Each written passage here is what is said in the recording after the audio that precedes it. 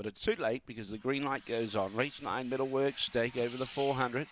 Favoured from the inside away. Dwelt slightly. Good speed out wide. Chat's going to clear them and got clear by two lengths. Serendipity Girl just bumped there with Miss Premier, who's trying to chase out after the leader, and Serendipity Girl's getting closer. They're about five lengths clear of Avatar Blaze. Uh, then the others, well, the others are too far back, which includes Aztec Warrior, Latissimus, uh, Latissimus Dorsai, and then Serendipity Girl is going to take it out, I think. Oh, no. Lover Chat, I think, kicked the beat Serendipity Girl. Uh, Chat at nose in front of Serendipity Girl. Third was Miss Premier, then Avatar Blaze. Following those through, uh, we had Latissimus Dorsai, Call Me Crazy. Mr. Agro was there at the tail end of the field with it, and the time is around 23.60. Tight go. Wait for the judge here. Seven gets there.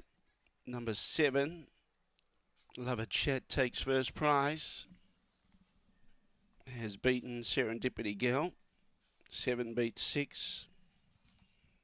23.58 the time. 12.63 was the run home. 23.58. Seven beats six, eight and one. Seven, six, eight, one. Judges' numbers.